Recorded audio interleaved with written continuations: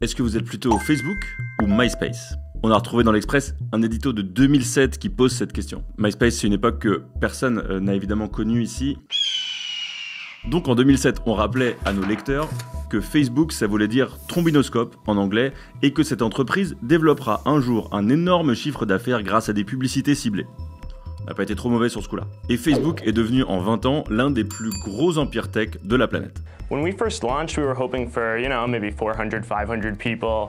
Harvard didn't have a Facebook, so that's the gap that we were trying to fill. And now we're at 100,000 people, so who knows where we're going next. Um, Ça, c'était Mark Zuckerberg en 2004, quand il ne savait pas que 20 ans plus tard, il pèserait 125 milliards de dollars. That's that's just sort of where I am in life now. Mais à l'approche de ce 20e anniversaire, on a l'impression que Mark Zuckerberg s'est lancé dans une sorte d'opération rédemption. Une sorte de tactique qui vise à faire oublier que Facebook a très longtemps été le vilain petit canard des GAFAM. That was a big mistake.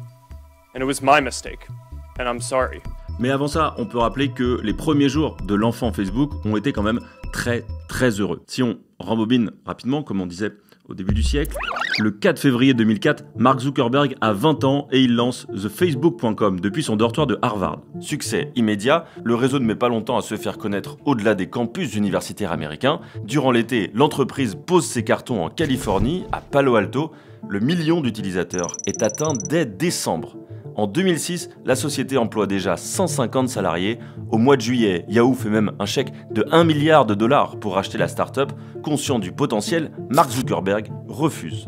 En 2007, Microsoft entre au capital, l'entreprise est désormais valorisée à 15 milliards de dollars. Le nombre d'inscriptions est exponentiel. En août 2008, 100 millions de personnes sont sur Facebook. En juillet 2011, le groupe est valorisé à 50 milliards de dollars. C'est la première start-up au monde à atteindre ce cap. Je ne sais pas si vous avez passé une bonne année 2012, mais chez Facebook, le cap du milliard d'utilisateurs a été atteint et leur entrée en bourse a été tout simplement la plus grosse de l'histoire des valeurs technologiques. Le réseau social, ayant désormais 4000 employés, rachète même Instagram la même année et WhatsApp deux ans plus tard. Le petit site développé à Harvard est devenu un gigantesque groupe tech. Alors moi, j'ai eu la chance de m'inscrire au tout début de Facebook quand c'était encore réservé aux universités américaines parce que mon père étant universitaire, j'ai réussi à récupérer une adresse email qui m'a servi à, à faire l'inscription. Lui, c'est Fabrice Epelboin, un enseignant à Sciences Po et spécialiste des réseaux sociaux.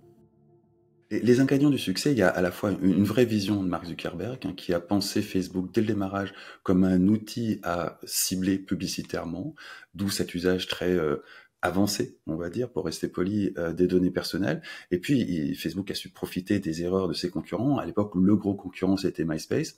MySpace a fait plusieurs erreurs, dont une qui était catastrophique. Ils ont décidé d'éliminer les profils des chiens et des chats que les utilisateurs avaient fait de leurs animaux domestiques. Et ça, tuer des chats, on peut pas faire pire dans la culture Internet. Ça a été absolument fatal et ça, ça a causé une immense migration de MySpace vers Facebook.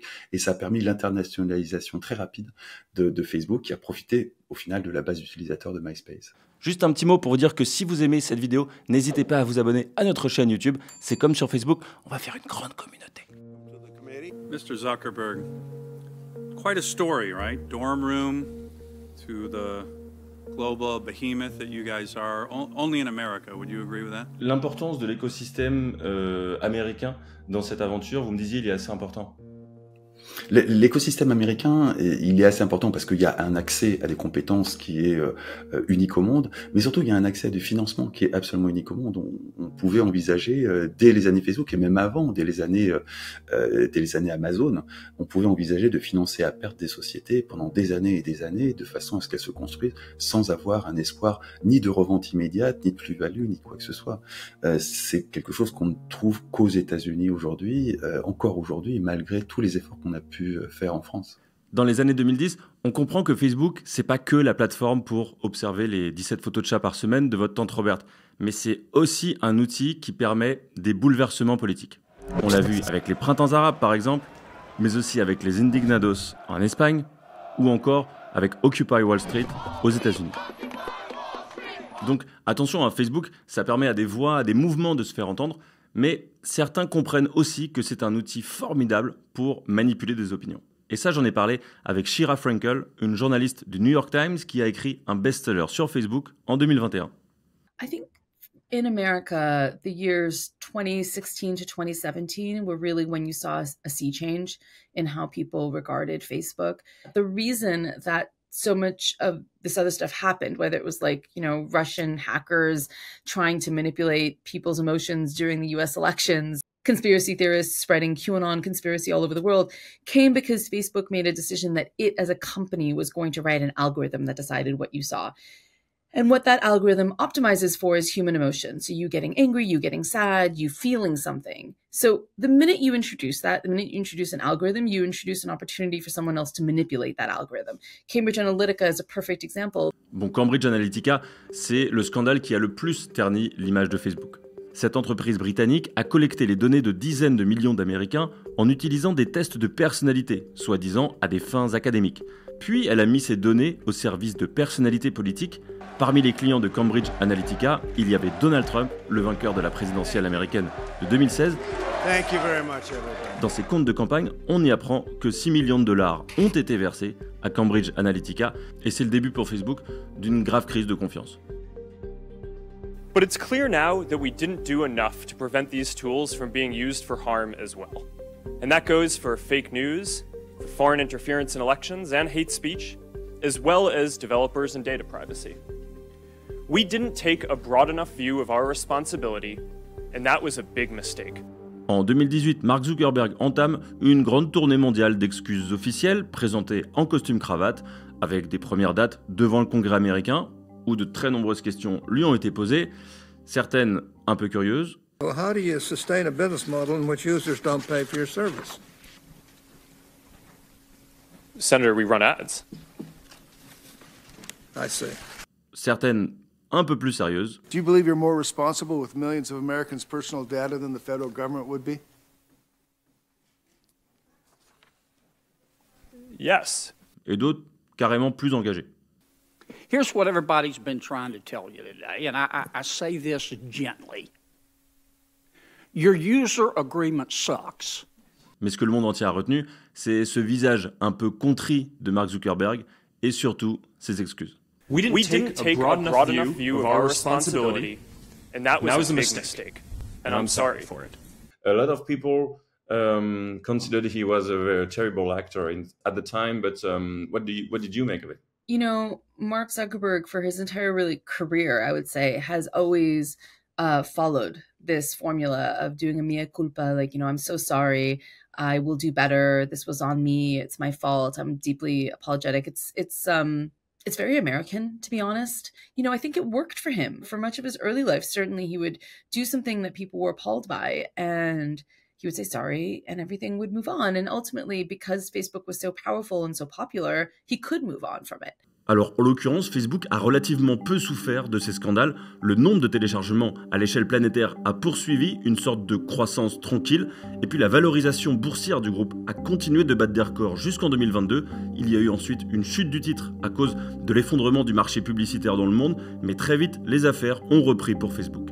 Ou plutôt pour Meta, parce que depuis octobre 2021, le nom de la vitrine a changé. I believe the metaverse is the next chapter for the internet. And it's the next chapter for our company too. To reflect who we are and what we hope to build, I am proud to announce that starting today, our company is now Meta.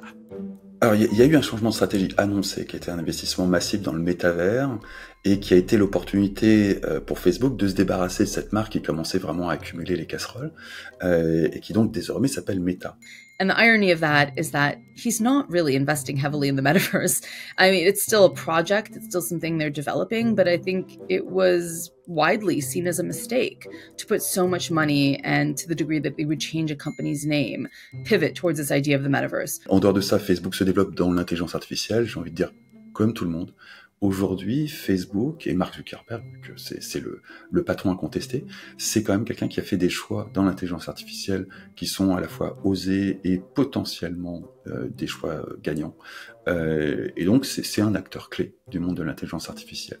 Accessoirement, il est assis sur le plus gros réseau social de la planète et la plus grande régie publicitaire à, côté de, de, celle de Google de la planète. Donc, il, il est un rouage de l'économie.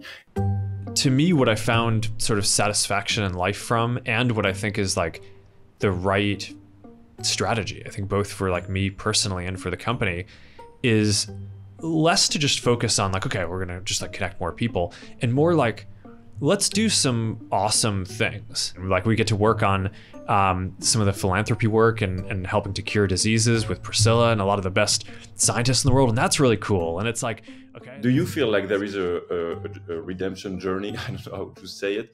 And where are we in this uh, area now? You know, I'm, I'm sure for Mark Zuckerberg and for the people close to him, there's deep interest in a redemption journey only because, again, Mark Zuckerberg thinks of himself in terms of history. He wants to be a historic figure. He's not thinking about what the headlines say about him today or tomorrow.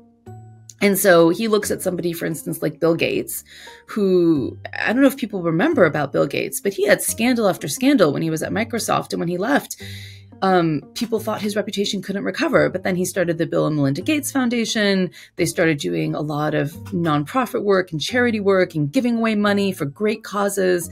And all of a sudden, he was thought of as Bill Gates, the philanthropist. I imagine Mark Zuckerberg sees something quite similar for himself, where he is, yes, trying to redeem himself and his company, and he's still heavily invested there, but Is is turning 40, I believe, this year. He has a very long life and career ahead of him, where I imagine he will, you know, do a great many things with his power, with his wealth, um, that will perhaps, I think, in his eyes, redeem him.